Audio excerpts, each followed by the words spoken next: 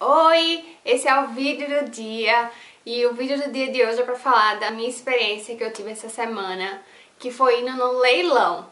E eu já penso em leilão, eu penso naquele forró, mas não é, não foi um leilão de gado nem nada disso.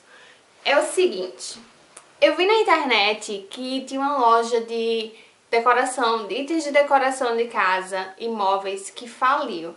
Então eles tentaram fazer uma liquidação para vender tudo que eles tinham e o que não foi vendido, que tanto podia ser itens novos quanto o mostruário da loja, eles decidiram fazer um leilão. E o leilão era com uma empresa profissional de leilão e eu vi na internet que ia acontecer durante a semana. Então eu me programei para poder ir nesse leilão. Eu tive que ir sozinha porque não deu para conseguir ninguém para ir comigo, então eu já estava um pouco apreensiva porque eu nunca fui no leilão. Então eu fui lá meio que, tipo, só pra sentir como é que seria, se é de fato uma coisa que é seguro de comprar. Eu não tinha a menor ideia como é que ia funcionar, só sabia o endereço e que ia ter o leilão. Chegando lá, já tinha bastante gente, eu cheguei em cima da hora do leilão começar. Eles geralmente deixam todas as peças, é tipo um galpão, tá? Que todas as peças que, que vão ser leiloadas ficam disponíveis para inspeção, ou seja, você vai comprar do jeito que tá lá, se tiver um defeito, o que for. Você tá, tá ciente que tem algum tipo de defeito. E assim que eu cheguei lá, eu fui tentar me registrar caso eu quisesse fazer alguma oferta.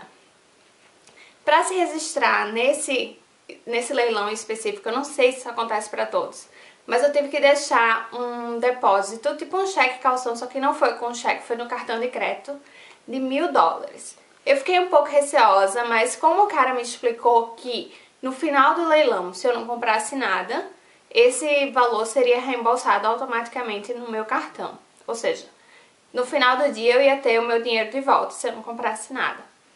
Então eu topei, fiz lá o meu cadastro, botei o meu cartão de crédito para os mil dólares e ganhei um, um, cartão tipo esse aqui. Meu número era o 122. Esse aqui não é o verdadeiro, eu escrevi isso aqui porque no final você tem que devolver o seu cartão.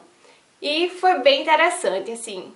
Já que eu cheguei em cima da hora, o cara já tava com o microfone, assim, para começar. E ele fazia por lotes e era bem interessante. É que ele fala, fala bem rápido, quem dá mais, quem dá mais.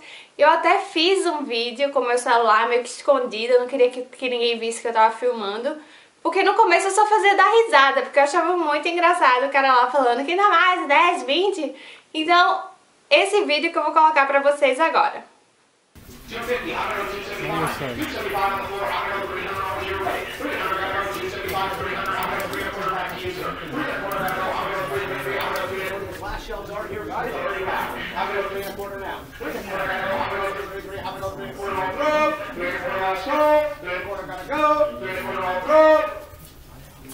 Eu sei que ficou meio tremido e também eu tava tentando esconder das pessoas que eu tava filmando, mas acho que dá pra ter uma ideia de como funcionava.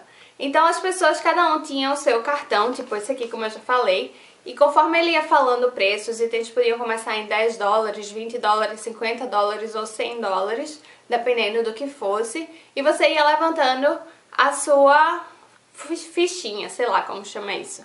Você ia levantando o seu número. E aí ele ia tentando que alguém batesse o preço. A maioria dos itens do que eu vi por serem assim menores de decoração de casa, eles eram vendidos na média de 30, 40 dólares. Tinha mais de 200 itens, mas tinha também coisa muito grande que chegou a ser vendida por 600 dólares.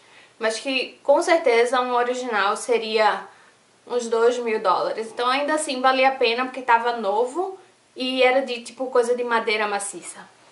Eu comprei alguns itens. Eu comprei um tapete grandão que eu pretendo colocar na sala de jantar. Comprei dois quadros. Eu vou... Ah, eu já sei. O que eu vou fazer é... Eu vou dividir esse vídeo, né? Chegou aqui. Eu vou dividir esse vídeo em dois. Esse eu só vou falar, tipo, da dinâmica. E o outro vídeo eu mostro pra vocês tudo que eu comprei. Alguns dos itens que eu comprei tem o preço original neles.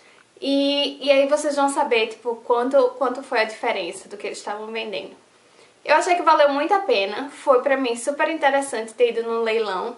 Nunca fui no leilão, como eu já falei, mas agora eu já me sinto mais segura de ir no qualquer, um outro, qualquer outro leilão que tiver.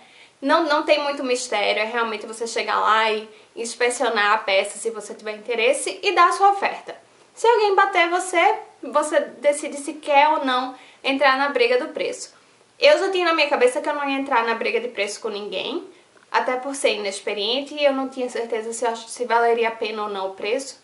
Então eu dava minha oferta. Se fosse a última, ótimo, eu ficava com o item. Se não, eu não ia ficar brigando o preço com ninguém. Eu achei que valeu super a pena. Eu vou ficar de olho se vai aparecer mais coisas de leilão, porque agora eu já sei que chega lá, você compra ou não e tem o, reembolso no final do, do evento. Então é isso aí, o próximo vídeo eu mostro tudo que eu comprei. Tchau!